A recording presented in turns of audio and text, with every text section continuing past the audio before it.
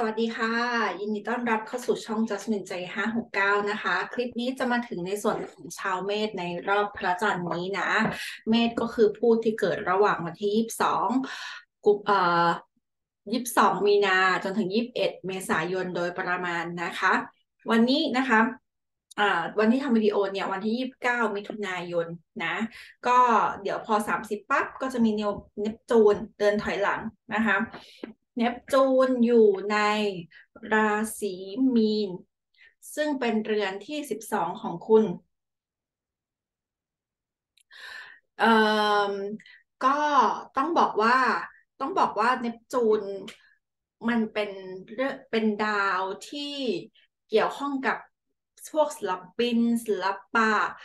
เกี่ยวข้องกับ subconscious เกี่ยวข้องกับเรื่องจิตวิญญาณความเชื่อนะคะ ทีนี้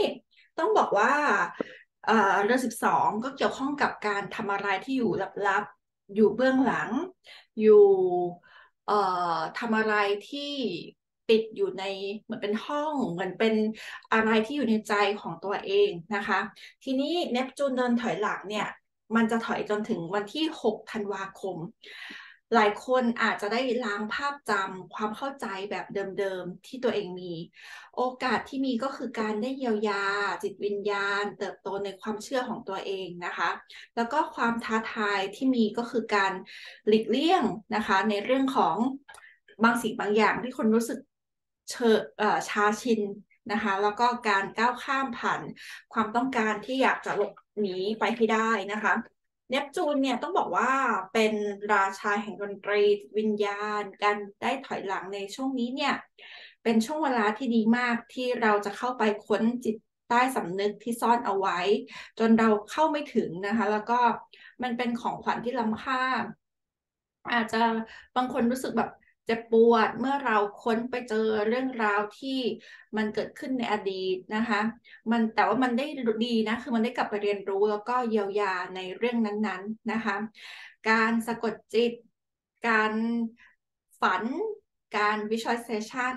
เหมือนเป็นคีย์ของการถอยหลังในรอบนี้นะคะสำหรับคนที่รู้สึกว่ากำลังหลงทางนะคะ มันช่วยคุณได้เช่นกัน พลังงานของเนปจูนแล้วก็ราศีมีนะคะ อาจจะบอกถึงความสับสนปนเปกันไปหมดจัดการอะไรไม่ค่อยได้ ถ้าเราไม่ได้ใช้สัญชาตญาณดีๆนะคะ ในการฟังเสียงจักรวาล ว่าเขาอยากจะบอกเราว่าอะไร คุณอาจจะหลงทางได้ง่ายมาก ๆ ความเสี่ยงที่จะเกิดจากภาวะติดอะไรบางอย่างเป็นพิเศษ เช่น ติดวัตถุทีวี เทคโนโลยี สื่ออาหาร ความรัก อะไรก็ได้ที่คุณรู้สึกว่ามันมากเกินความพอดีไปอะค่ะ ดังนั้นสิ่งที่คุณบางทีแบบเหมือนเช่น ดูทีวีดูเน็ตฟลิกดูมากมากมากเกินกว่าความพอดีที่ควรจะต้องดูนะ มันอาจจะต้องกลับไปดูว่ารากของสิ่งที่เกิดขึ้นทั้งหลายแหล่เนี่ย ต้นตอมาจากอะไร เบื่อหรอ เศร้าหรอ เหงาหรอ หรือว่า ไม่มั่นใจหรอ อะไรคือสิ่งที่คุณรู้สึกว่ามันเป็นสิ่งที่เป็นปมนะคะ เพราะฉะนั้นการถอยหลังของเนปจูนรอบนี้ค่ะทำให้คุณได้เข้าใจชีวิตเข้าใจตัวเองมากขึ้น การมีเส้นขอบเขตในชีวิตเป็นสิ่งที่สำคัญที่สุดในการที่เนปจูนอยู่ในราศีมีนนะคะ แล้วก็การมีขอบเขตในความสัมพันธ์ การมีเส้นแบ่งในเรื่องวินัย นิสัย วินัยในเรื่องการกินการเชื่อมกับ จิตวิญญาณต่างๆ มันสามารถช่วยได้ คุณอาจต้องใช้เวลาแยกแยะนิดนึงว่าอันไหนความจริง อันไหนนิยาย อันไหนความฝันการที่คุณได้เชื่อมกับ สิ่งศักดิ์สิทธิ์หรือว่าสัญชตาตญาณของตัวเองนะคะ ช่วยได้มากๆนะคะ แล้วก็เป็นช่วงเวลาที่ดีมากที่จะปล่อยความเศร้าแล้วก็ความเสียใจ ซึ่งหลายคนอาจจะแบบมีความรู้สึกแบบนั้นมากๆอะคะ่ะ ยิ่งถ้าคุณเปิดใจได้มากเท่าไหร่อะคะ่ะ จะเรียกความสดใสให้ตัวเองได้มากเท่านั้นอย่างแน่นอนนะคะ ทีนี้ถัดมาวันที่ 3 กรกฎาคม เป็นวันที่มีฟูมูลในราศีมังกรนะคะ ฟูมูลในราศีมังกร มังกรเป็นเรือนที่สิบของคุณ ก็ต้องบอกว่าเรือนที่สิบเกี่ยวข้องกับงานเกี่ยวข้องกับชื่อเสียง ความสำเร็จเกี่ยวข้องกับการที่แบบเหมือนมีคนหันมาสนใจคุณมากขึ้นนะคะฟูมูลในรอบนี้ต้องบอกว่าโอกาสดีๆ ที่มีก็คือการทำพันธสัญญากับตัวเองนะคะ ในเรื่องความสัมพันธ์ ในเรื่องของงาน ในเรื่องของการปลุก พลังยักษ์ในตัวคุณนะคะ ความท้าทายที่มีก็คือการปลดปล่อยการโดนควบคุมในชีวิตไปให้ได้ การก้าวข้ามผ่านความรู้สึก ไม่ไว้ไว้ไว้วางใจกับในเรื่องงานนะคะโชว์เรื่องงานนะคะ ออกไปให้ได้ฟูมูลเนี่ยค่ะบอกถึงความแข็งแรง การมีเหตุมีผล การมีทรัพยากรที่แบบเหลือล้นเลยเอ่อโดยที่มันมีดาวพฤหัส ที่อยู่ในเรื่องการเงินมาทำมุมทรายกับฟูมูลบอกถึงทรัพยากรที่มีอะค่ะ มันจะไหลออกมาแบบไม่ขาดสายเลย เงินทองไหลมาเทมานะคะลองตั้งใจดูว่ามันจะจริงหรือเปล่านะ ย้อนไปเมื่อธันวาคมปี 2022 พฤหัสเข้ามาให้รางวัลในราศีพฤษภในเรื่องวัตถุเงินความมั่งคั่ง ความปลอดภัย ทรัพยากร การทำงานที่มั่นคงมากขึ้น การทำ สิ่งต่างๆ ที่ร่ำรวยมากขึ้น ด้วยความที่ดาวจันทร์อยู่ในราศีมังกรแบบที่สิบนะคะ อาจจะไม่ใช่จันทร์ที่เป็นตัวเองมากนัก ไม่สามารถแสดงความรู้สึกเหมือนปกติได้ คุณจะค่อนข้างมุ่งเน้นไปที่ในเรื่องของการทำงานให้สำเร็จทำอะไรให้เกิดประโยชน์สูงสุด การใช้ความคิดแบบผู้ใหญ่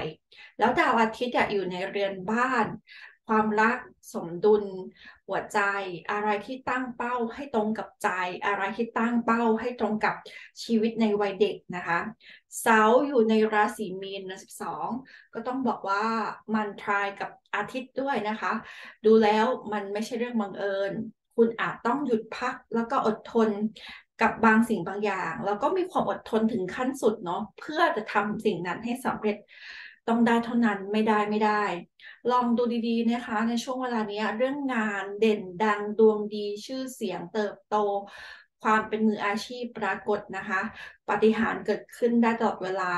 ถ้าคุณตั้งเป้าหมายของคุณชัดเจนนะคะ เมื่อคุณอนุญาตให้จักรวาลนะคะ ได้แสดงให้คุณเห็นว่าสิ่งที่คุณต้องการจริง ๆ คืออะไรความฝันเป้าหมายชีวิตคุณคืออะไร สิ่งนั้นมันจะปรากฏแน่ ๆ นะคะ 10 กรกฎาคม ดาวอังคารเข้าสู่ราศีกัน ซึ่งเป็นเรือนที่ 6 ของคุณ ก็ในเรื่องของงานงานประจำการใช้ชีวิตประจำวัน การดูแลสุขภาพ การดูแลตัวเอง การคุยกับลูกน้องบริวารอาจจะต้องระวังนิดนึงเพราะว่าอังคารคือสิ่งดีคือเขาจะ active มากสิ่งเสียคือเขาจะค่อนข้าง aggressive มาก คือ เถียงคุยแบบทะเลาะกับลูกน้องบริวารได้ สิ่งนี้เป็นสิ่งที่ต้องเฝ้าระวังมาก ๆ นิดหนึ่งนะคะ 11 กรกฎาคม ดาวพุธเข้าสู่ราศีสิงห์วิธีการสื่อสาร พูดคุย การเรียน การใช้คำว่าอาจจะได้คิดอะไรที่มันเป็นสิ่งที่ทำให้คุณรู้สึก สนุกอะค่ะ ได้ทำสิ่งสนุกสนาน หรือว่างานบันเทิง หรือว่าการได้ทำอะไรเพื่อตัวเองที่มากขึ้น ได้เรียนมีงานอดิเรก หรือว่าการได้ออกเข้าสังคมในฝูงคนฝูงคนนะคะ อาจจะเป็นการประชุมสัมมนา หรือว่าไปเจอกลุ่มคนที่มาก ๆ อาจจะมีการเดินทางระยะใกล้ ๆ เกิดขึ้นได้เช่นกันนะคะ 17 กรกฎาคมนิวมูนเกิดขึ้นในราศีกรกฎซึ่งเป็นเรือนที่ 4 ก็คือเรื่องครอบครัวบ้านที่อาศัยที่ดินของคุณนะคะนิวมูนคือการเริ่มต้นใหม่ราศีกรกฎอยู่ในเรือนที่ 4 ของคุณด้วย ต้องบอกว่าเป็นช่วงที่สร้างปัจจัยพื้นฐานในชีวิต บางคนมีการได้บ้านใหม่ ได้แต่งงาน ได้เปลี่ยนที่อยู่ ได้ เข้าใจตัวเองมากขึ้นกว่าเดิมมาก ๆ โอกาสที่มีก็คือการพัฒนาสัญชาตญาณตัวเองให้ชัดขึ้น มีการสื่อสารที่แบบถนอมน้ำใจคนมากขึ้น ความท้าทายคือการต่อรองกับสิ่งที่คุณรู้สึกว่าต้องเผชิญ การก้าวข้ามผ่านภาวะที่เป็นการป้องกันตัวเองไปให้ได้มีมูลรอบนี้นะคะ เป็นการเปลี่ยนแปลงแล้วก็การ ปฏิวัติครั้งใหญ่เป็นช่วงของการสะท้อนสิ่งที่อยู่ลึกๆในใจที่คุณต้องการจริง ๆ เมื่อพลูโตเข้ามาทำมุมตรงข้ามในรอบนี้นะคะ องศาที่29นะเพราะเขาถอยหลังมาเนาะองศา 29 หรือว่าคามิกดีกรีอะค่ะ มันเกี่ยวข้องกับวิกฤต เกี่ยวข้องกับการเปลี่ยนแปลง ธุระปะปังที่รู้สึกว่ายังไม่จบไม่สิ้นเสียทีนะคะพูโตบอกถึงการตัดสินใจตัวเลือก การตัดสินใจแบบเด็ดขาด ซึ่งของคุณอะเหมือนรู้สึกถึงการแบบเหมือนเปลี่ยนอะเปลี่ยนตัวเองมากแต่แล้วเกิดหมายอาจจะไปเกี่ยวข้องกับในเรื่องการเงินกับเงินประกันภาษี หรือว่าเงินครอบครัวมรดกพวกนี้ก็ได้เช่นกัน หรือการเปลี่ยนสิ่งที่มันเป็น toxic ในใจสิ่งที่รู้สึกว่าอะไรที่มันทำให้เราสะเทือนใจอะต้องตัดออกไปให้หมด เมื่อเป้าหมายเราสูงเราได้รับแรงกดดันต่างๆ เยอะมาก แต่มันก็หลอมเราให้เก่งและแกร่งมากขึ้นเหมือนเพชรเนาะแล้วก็มันจะสะท้อนสิ่งต่างๆ ที่เป็นแรงกดดันเรามาก เพราะฉะนั้นน่ะรอบนิวมูนนี้เนาะสิ่งที่ดีที่สุดคือการเป็นเชลิเดอร์ให้กับตัวคุณเองค่ะ ให้กำลังใจตัวเองให้ได้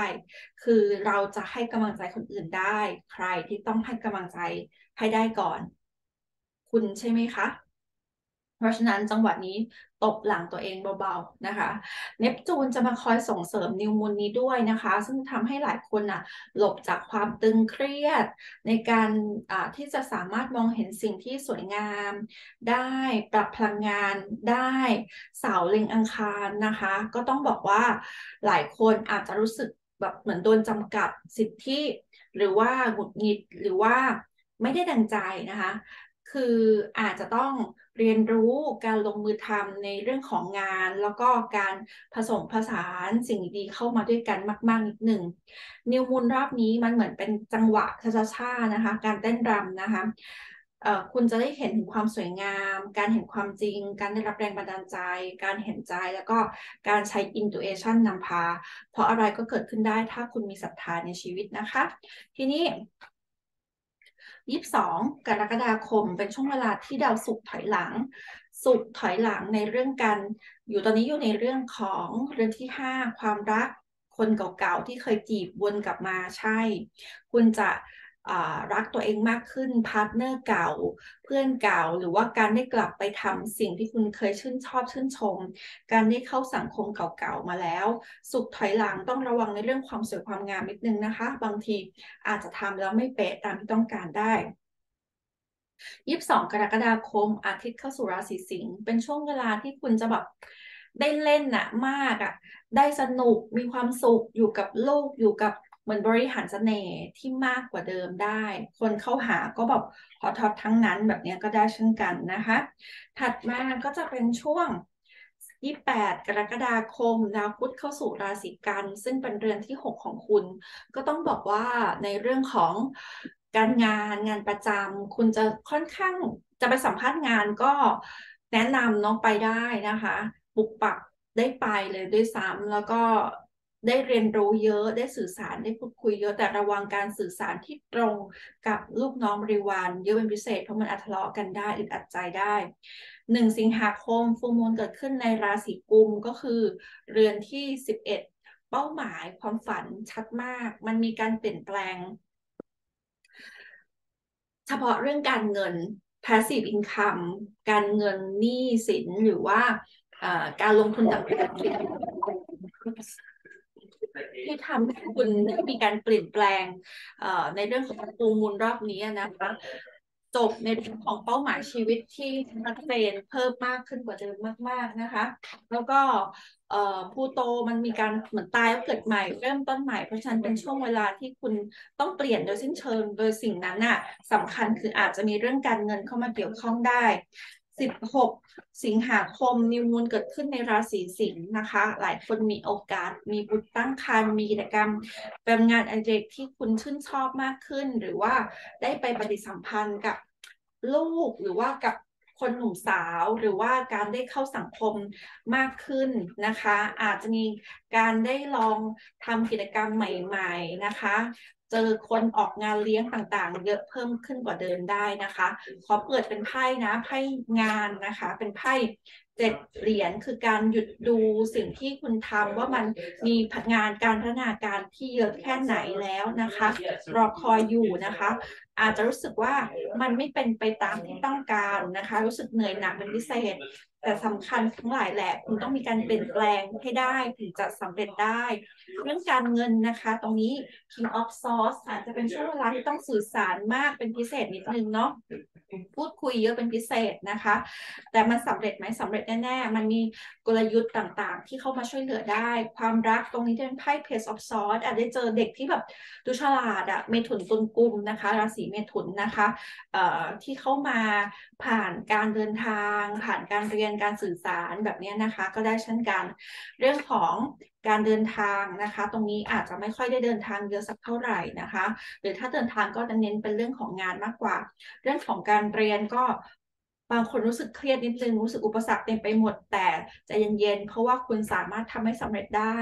เรื่องสุขภาพโอกาสการได้ดูแลตัวเองมากขึ้นมันมีนะคะ การได้ดูแลการได้หันมาแบบ เปลี่ยนหุ่นเปลี่ยนเชฟเปลี่ยนตัวเองให้มันดีขึ้นแบบนี้ได้ สุขภาพใครไม่สบายก็หายได้แน่ ๆนะคะ ขอบคุณทุกคนมากเลยค่ะ ไปแล้วค่ะ สวัสดี